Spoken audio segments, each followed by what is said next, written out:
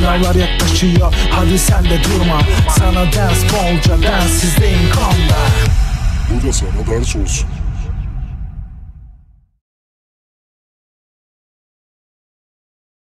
Herkese merhabalar arkadaşlar. Ders izleyine hoş geldiniz. Dörtgenlere devam ediyoruz. Uzman testimizi çözeceğiz. Birinci soruyla başlıyoruz. Şekildeki dörtgende E ve F noktaları bulundukları köşegenlerin orta noktaları. AB uzunluğu 10, DC uzunluğu 14 olmak üzere EF uzunluğunun alabileceği kaç tane tam sayı değeri vardır diye soruluyor. Şimdi arkadaşlar burada şunu yapalım. Ee, şimdi F noktası orta nokta. Ben e, şu BC uzunluğu üzerinde bir orta nokta işaretlersem yani şunlar birbirine eşit olsun. Buradan F noktasıyla şu noktayı birleştirdiğimiz zaman arkadaşlar şimdi F noktası orta nokta. Şu uzunlukla şu uzunluk eşit.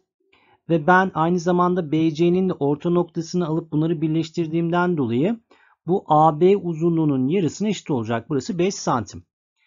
Şimdi E noktası da yine orta nokta olduğundan dolayı yani şu uzunluklar arkadaşlar şu uzunlukla eşit. O yüzden ben yine orta noktaları birleştirirsem bu da bu sefer DC'ye paralel olacak ve B, DC'nin yarısı olacaktır. 14'ün yarısı da 7'dir.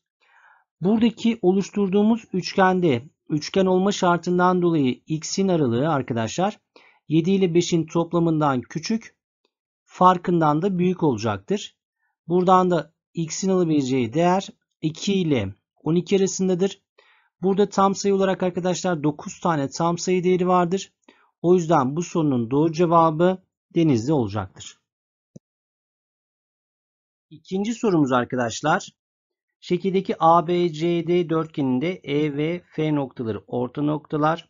Bir de oran verilmiş ve bu oran 1 bölü 2 arkadaşlar. Şimdi buradaki oran şu. BL'ye biz x dersek şuradaki uzunluğumuz 2x. Buraya y dersek burası da 2y olduğunu söylüyor. Ve bazı bölgenin alanları verilmiş. Boyalı bölgenin alanları toplamı nedir? Şimdi burada şunu yapalım arkadaşlar. Öncelikle iki tane orta noktanın birleşimiyle oluşan şekillerde alanlar S, 3S şeklinde paylaşım olarak gösterilebilir. O yüzden burada 3S'nin değeri ve S'nin değeri şeklinde ifade edersek 3S 24'e eşit ise buradan S dediğimiz alan 8 çıkacaktır. O yüzden şuradaki alanımız 8. Şimdi diğer kısma geçelim. Buradaki benzerlik oranı yani BL'nin arkadaşlar burada şunu yapalım. BL'nin tamamına oranı x bölü 3x yani 1 bölü 3 çıkacaktır. Bunun karesi alanları oranının vereceğinden dolayı 1 bölü 9'dur. Yani ben şuradaki alana S dersem tamamı 9S olacağından buradaki alan 8S'dir. Burada da 8S'nin değeri 24 ise S'nin değeri 3 olarak bulunur. O zaman şuradaki alanımızda 3 çıkacaktır. Toplam alan ise bunların toplamı olan 8 artı 3'ten 11 olarak bulunur. Doğru yanıtımız Bursa'dır.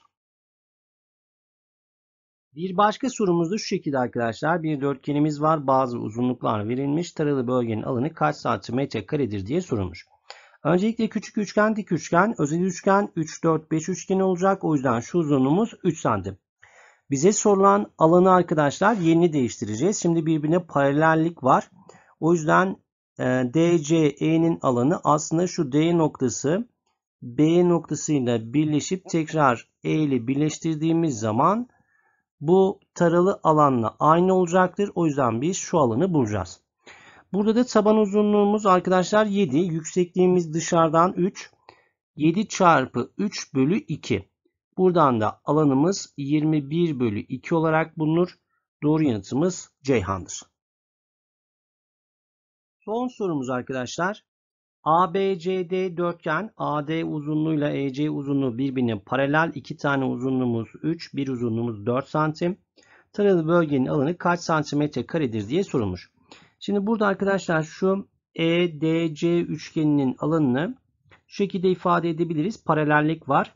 Şimdi C noktası D noktasıyla değil de C noktası A noktasıyla birleşip tekrar E noktasına geldiği zaman aslında EDC üçgeninin alanıyla aynı alana sahip başka bir üçgen oluşturabilir. O yüzden biz bu alanı taşıdık.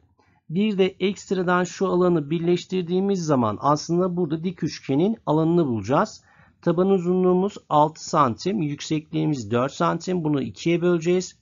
Aradığımız sonuç 12 santimetre kare olarak bulunacak. Doğru yanıtımız Bursa olacaktır. Evet arkadaşlar videomuzun sonuna geldik. Bir başka videoda görüşürüz. Kendinize çok iyi bakın. Kanalımıza abone olmayı unutmayın. Hoşçakalın.